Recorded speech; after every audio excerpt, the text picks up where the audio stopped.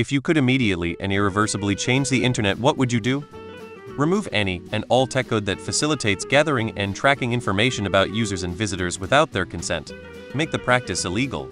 Make it so every site and service has to be transparent about what info they wish to gather and give users the ability to deny every last one of them. Ban ads.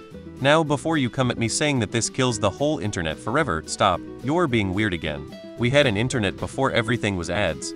It was better. We can get it back. Ban social media. Yes, that also means Reddit. Remove bots engaging in social media. Turn the internet off completely and watch society implode.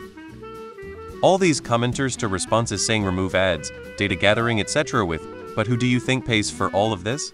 Some of us were using the internet 25 years ago, when it was admittedly less convenient, but still robust and felt like a much richer place.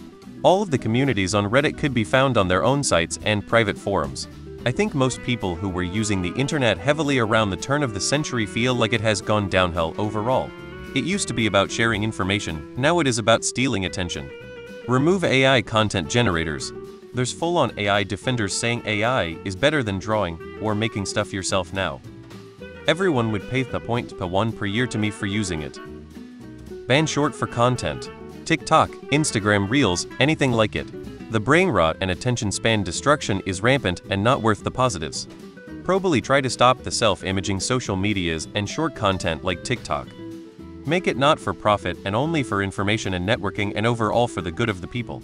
Not this Bill Gates, Steve Jobs, whatever you call it corporate mafia style takeover bullshit we have morphed into today. More privacy for users. You know that thing where you go to a website and then as you go to click a link an ad loads and then you accidentally click the ad? Yeah, fuck whatever that is. Demonetize it.